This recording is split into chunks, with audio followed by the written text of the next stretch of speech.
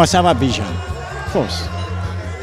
And uh, agriculture could bring you from rags to riches.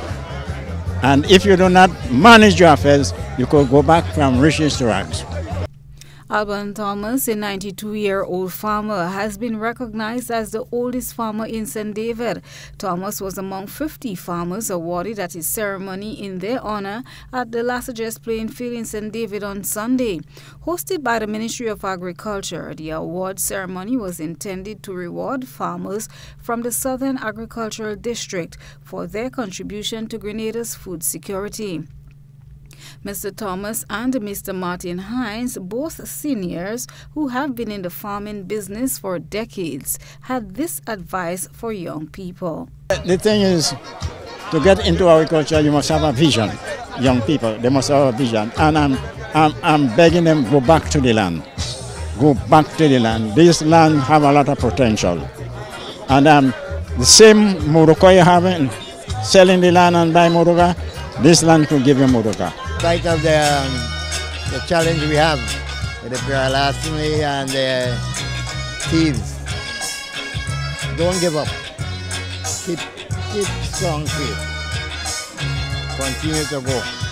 Brian Hazard was recognized as the most outstanding youth in agriculture, while Christian Niles was awarded the youngest male in agriculture. feel great, you know, knowing the amount of hard work and, you know, dedication the sun, the rain, you know. You have to keep going. Yeah? Keep at, keep at it, you know. Farming is not no easy, easy work, but you have to keep, you have to keep yourself motivated. When I was younger, my, my, my dad had a farm and I, I used to go on the farm and I love reaping the crops, so that just brought me into agriculture. Well, I feel great and inspired. Salisha Mashal from La Femme St. David, who was awarded Nursery Farmer of the Year, said she found comfort in farming. I started at a young age, but what I'm more, I'm more involved in is nursery. So I do seedlings, vegetables, um, like lettuce, cabbage, and I also do herbs. It always is a family or generational. My mom, my grandma, my dad, everyone. So I just continued on when I realized that's where I'm more comfortable and happy. Senator Adrian Thomas shared the objectives of the Ministry of Agriculture as one bent on emulating farmers, while Permanent Secretary Isaac Bagwan explained what is in the pipeline. It was, it was, it was nice today to see a 12-year-old got recognition for his involvement in farming, and there are quite a few young people here also. Um, the blend with male and female was very nice also. Um, we had a farmer 92 years and he's still in the business of farming and we had, and we had young people. I think it's a, it's, a, it's, a, it's a way that we can encourage young people to come forward.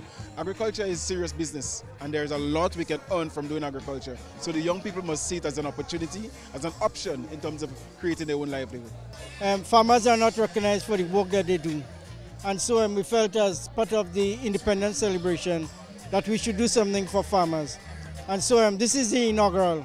The intention is um, next year and every year thereafter to have um, a Farmers Recognition Day, recognizing farmers, as I said before, in different categories. Um, John, GBN News.